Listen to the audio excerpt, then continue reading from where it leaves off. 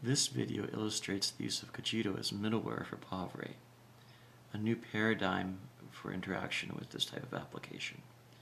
Here we see an exploration of shapes and colors. In this simple example, we can control sphere size, cylinder size, and sphere color. Altogether, those give us a total of 225 different combinations. And we see them presented here, eight at a time. That gives us a breadth first look at what's available in the space. The user can then select interesting uh, combinations, samples.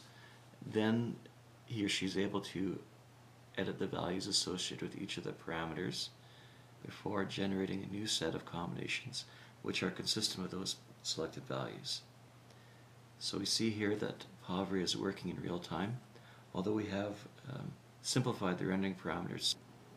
The benefit of this approach for the user is that he or she can quickly find interesting and possibly novel combinations without having to do an exhaustive search, or to remember which combination was preferred.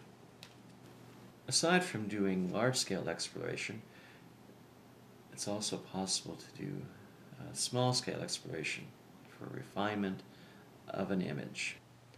The user is always free to choose his or her own parameterization for an image.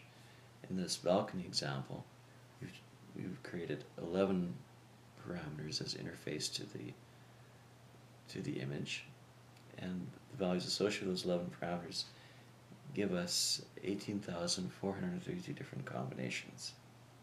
And that would require over 2,300 screens to hold them all.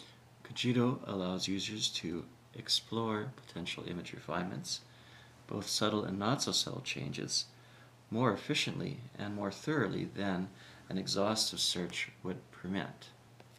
Because Cogito handles the bookkeeping, the user uh, can easily revisit past decisions and follow other uh, paths or create uh, new branches. And the history of their interaction and refinement is stored within the Cogito interface for future exploration tomorrow or a year from now, which all helps the user in his or her interactions with POV-Ray.